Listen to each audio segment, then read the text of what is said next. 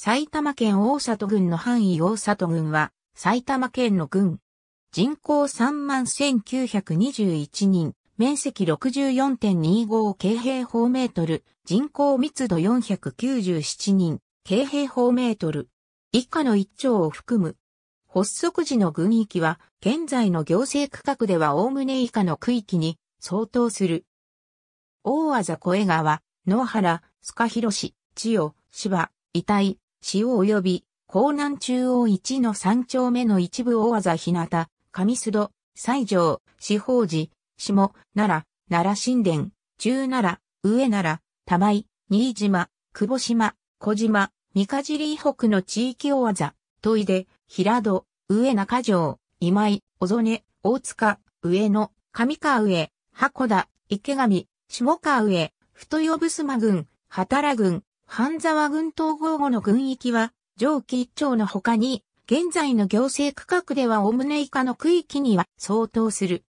東館山古墳美濃和古墳郡として6世紀の前方、広報墳である東館山古墳があるが、発掘調査はされていない。このほか、演技式内社である高城神社から陽者シリング国と記された聖堂の鈴が出土している。群河は熊谷市、公家付近とみられ、対岸の下田町遺跡から古墳奈良平安時代にかけての遺構、遺物が発見されている。平安時代には武蔵七島の記載地市が住み、公家市や熊谷市の祖となった。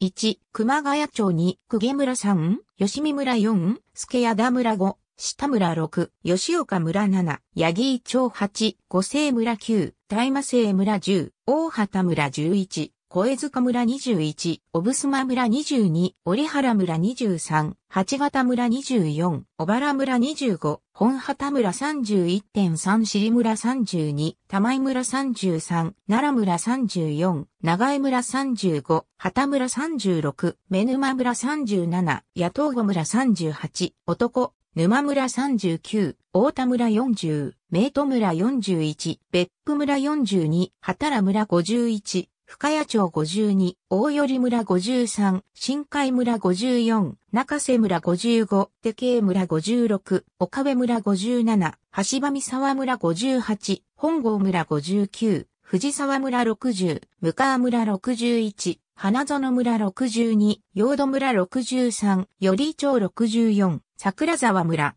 ありがとうございます。